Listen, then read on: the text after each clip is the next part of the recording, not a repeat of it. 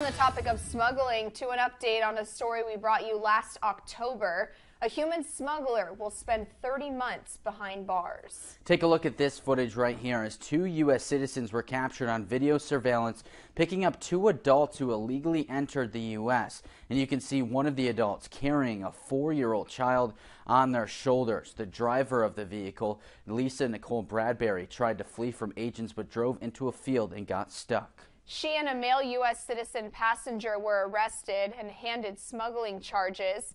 This week, Bradbury was sentenced to 30 months in prison, followed by 36 months of supervised release. The male passenger is still awaiting trial.